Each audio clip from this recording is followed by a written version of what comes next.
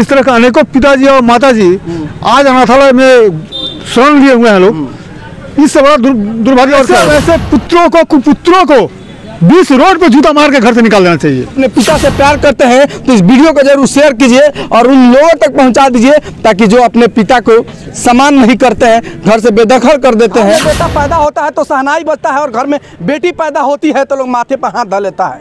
लेकिन सबसे दुखद खबर हम आपको बता रहे हैं। एक बूढ़े चचा हमारे सामने हैं। इनका नाम और इनका पता हम आपको बताएँगे लेकिन उससे पहले आपको बता देते हैं कि इनका बेटा भी है लेकिन शायद अपने घर जा नहीं सकते क्या नाम है राहुल? हीरा मन हो। हीरामन नाम हो। कहाँ घर हो? पंचायत कौन है राहुल? पंचायत मसवास पंचायत। अच्छा कय गो लड़का वालो रहुआ तीन गो तीन गो तो रहुआ यहाँ का करतनी हिए जान? तीन गो लड़का बाटे लोग तीन वह नज़र में वो पपाई खाने न कर के हमको नहीं पहुँचरी सूखला बचत गए इतना पानी में दिल हाँ मुखिया जी सब लोग ये देखो बेटा के नाम का तो नाम बताएँ बेटा के। कथी कथी नाम है लड़का? लाल हरुनी राम तो लोग छोटे लाल मुनी लाल बुनी लाल छोटा लाल बुनीलाल हरुनी राम तो ई लोग ना रखेला लोग का घरे रहुआ के? सब अलगे अलगे दे झटका के पड़ा। तो काहे ओने अलगे छटका लेते के साथे ना रहती।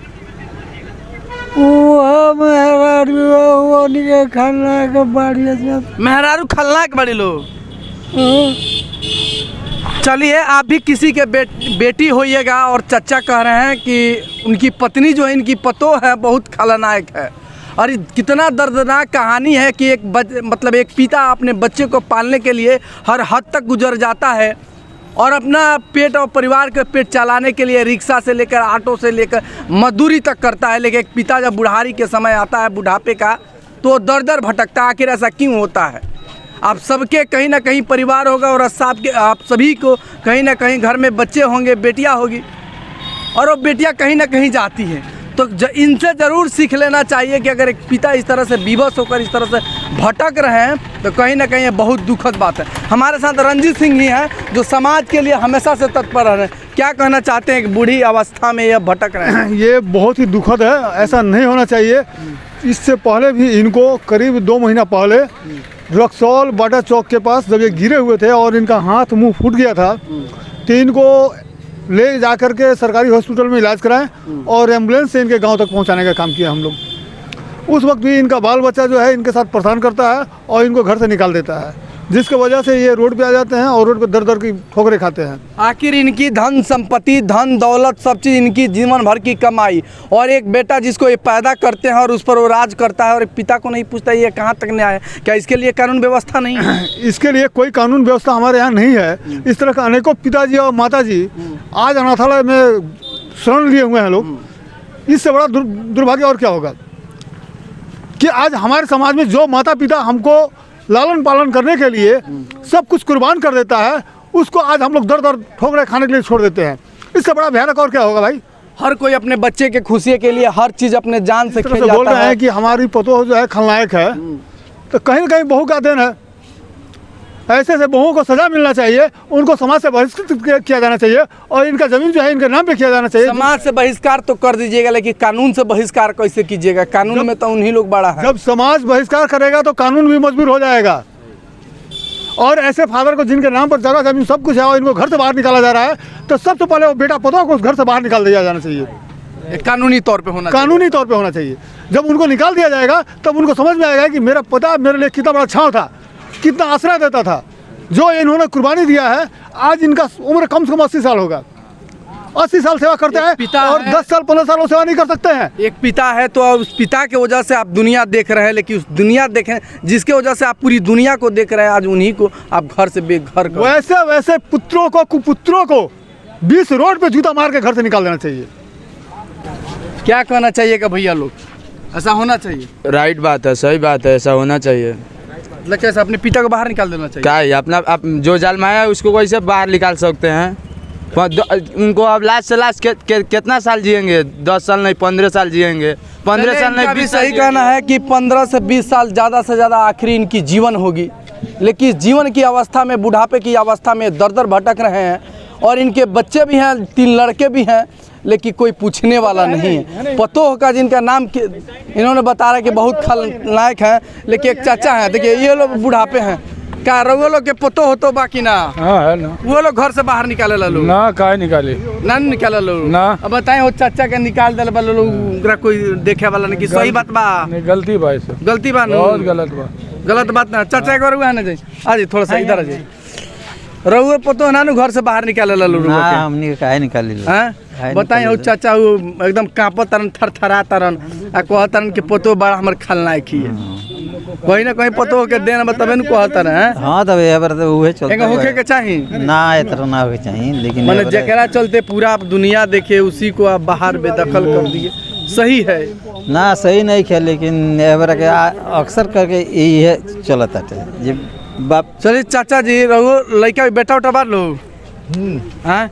बेटा के बड़ा प्यार से रुआ मैंने पालत हो पालत हो ना? कहो तो हमारे बेटा तरक्की करो आगे बढ़ो हाँ? बिल्कुल। जी जान लगा देते हो लेकिन रहुआ बूढ़ा जाइए बेटा रुआ घर से नहीं निकलता कैसन बुझात हो कैसन बुझाई? बहुत खराब बुझाई भाई। खराब बुझाई तो दर दर भटक रहे हैं बता रहे हैं कि पतो बड़ा खलनायक बलो इसमें प्रशासन को भी कुछ सोचना चाहिए। सोचना चाहिए बिल्कुल।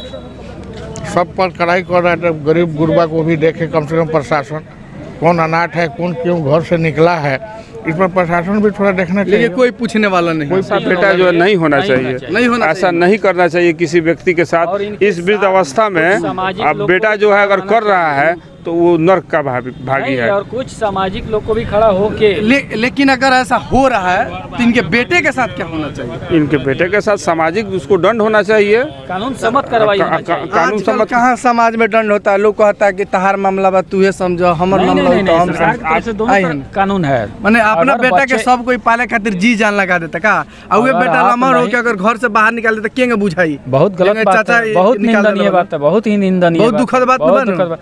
तो ऐसा है कि कुछ सामाजिक आदमी इनके साथ खड़ा होके एसडीओ कोर्ट में जाए।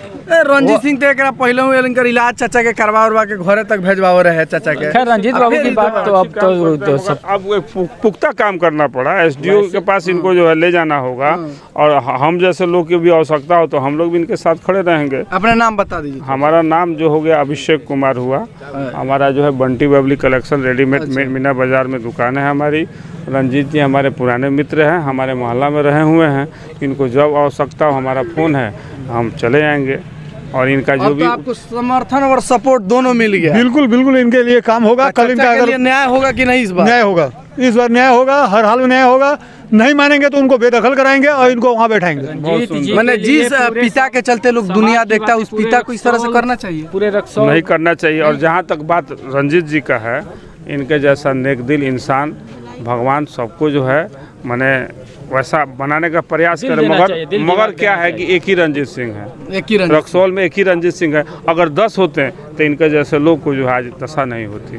लेकिन प्रयास आप लोग कीजिए कि दस रंजीत सिंह ऐसा रक्सौल हाँ एकदम एकदम समाज में वैसा होना एकदम आप लोग का सपोर्ट और समर्थन हमने तो अभी कह दिया आपको आपके चैनल के माध्यम से हमने कह दिया अपनी एड्रेस भी बता दी हमने नाम भी बता दिया और हमारा क्या रिलेशन है रंजीत सिंह के साथ हमने बता दिया। इनकी जब जब आवश्यकता होगी आपकी आवश्यकता भी पड़े तो हम आपके लिए भी खड़े रहेंगे हमारे दिखाइए। अगर आप अपने पिता से प्यार करते हैं तो इस वीडियो को शेयर करिए। अगर जिनके चलते आप पूरी दुनिया को देखते हैं उनको इग्नोर मत कीजिएगा अपने घर से नहीं निकालिएगा। जानते हैं एक पिता आपको अपने बच्चे को पालने के लिए दर दर भटकता है मजदूरी करता है नाले करता है बाथरूम तक वो साफ़ कर देता है लेकिन एक जो वही पुत्र जब बड़ा हो जाता है या पैसे उसके पास होता है घमंड हो जाता है और अपने पिता को बाहर निकाल देता है।